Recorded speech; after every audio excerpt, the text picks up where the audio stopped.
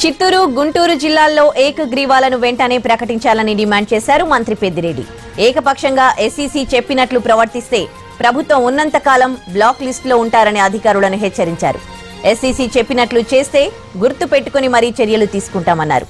అధికారులు వెంటనే ఏకగ్రీవాలకు డిక్లరేషన్ ఇవ్వాలన్నారు. జిల్లా అధికారులు నిబంధనలు ఖచ్చితంగా పాటించాల్సిందేనని స్పష్టం చేశారు మంత్రి పెద్దిరెడ్డి.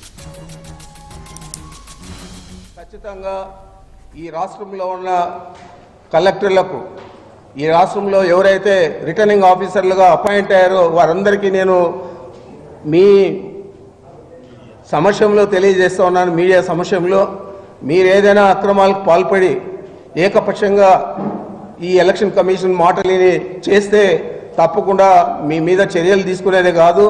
మీరు మా ప్రభుత్వం ఉన్న రోజులు కూడా బ్లాక్ లిస్ట్లో ఉంటారని చెప్పి నేను మనవి చేస్తా ఉన్నాను. ఒక పిచ్చి ఆలోచన పిచ్చి చేష్టలు చేస్తూ ఉండే కమిషన్ను మీరు లెక్కబెట్టి మేము ఆయన చెప్పినట్లే చేయాలని ఏ అధికారి ఆలోచించినా కూడా ఆ అధికారికి తప్పనిసరిగా తగిన చర్యలు తప్పనిసరిగా మేము తీసుకుంటాం. మార్చి థర్టీ ఫస్ట్ దాకా మేము ఏది కూడా మాట్లాడడం లేదు. నువ్వు ఏదైనా చేసుకో. ప్రజలు మా పక్షాన ఉన్నారు. నువ్వు ఎన్ని ఏకగ్రీవాలు వద్దన్నా కానీ రాష్ట్రంలో అత్యధికంగా ఏకగ్రీవాలు కావాలని ప్రభుత్వం కోరుకుంటా ఉంది. మరి ముఖ్యమంత్రి గారు చేసిన పనులు ముఖ్యమంత్రి గారు చే- ప్రారంభించిన సంక్షేమ పథకాలు అభివృద్ధి కార్యక్రమాలు ఇవన్నీ కూడా మాకు ఈ ఎన్నికల్లో ఘన విజయాన్ని తెచ్చే పరిస్థితి ఉంది కాబట్టి మేము నీకు భయపడాల్సిన పని లేదు.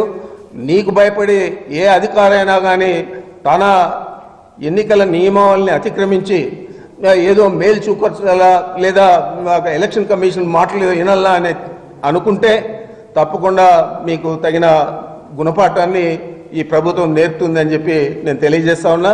ఏదైతే ఈరోజు ఆయన ఆఫ్ చేశాడో గుంటూరులో చిత్తూరులో ఇవన్నీ కూడా ఎన్నికల అధికారులు రిటర్నింగ్ అధికారులు మీరు సజావుగా పరిశీలించిన తర్వాత మీరు డిక్లేర్ చేస్తుంటే డిక్లరేషన్ ఫారాలు కూడా తప్పనిసరిగా ఆ అభ్యర్థులకు అందరికీ కూడా ఇవ్వాల యునానమస్ అయిన వారికి అని చెప్పి నేను తెలియజేస్తా ఉన్నాను. ఇది చాలా దారుణమైంది. ఎక్కడైనా ఈ రాష్ట్రంలోనే కాదు దేశం మొత్తం మీద రాజ్యసభ సభ్యులు చాలామంది ఏకగ్రీవంగా అయితే ఉన్నారు.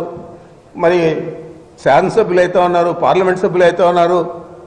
మరి ఏకగ్రీవాలకు వ్యతిరేకము అని ఎలక్షన్ కమిషన్ నేరుగా చెప్పడం అంటే ఇది ఒక పార్టీ కోసం పనిచేస్తూ ఉన్నాడు. చంద్రబాబు మెప్పు కోసం పనిచేస్తూ ఉన్నాడు. మరి ఇలాంటి వ్యక్తికి గౌరవం ఇచ్చి మీరు ఎవరైతే ఎన్నికయ్యారో ఏకగ్రీవంగా వారికి డిక్లరేషన్ ఫారాలు ఇవ్వకపోతే తప్పనిసరిగా పేరు పేరు తీసుకొని ఎన్నికలైన తర్వాత మీ మీద చర్యలు తీసుకుంటాం. ఈ ఎన్నికల కమిషన్ అక్రమంగా అన్యాయంగా వ్యవహారం చేస్తూ ఉంది కాబట్టి ఏ అధికారి కూడా ఇతనికి గౌరవించి పని చేయాల్సిన అవసరం లేదని చెప్పి నేను మీ ద్వారా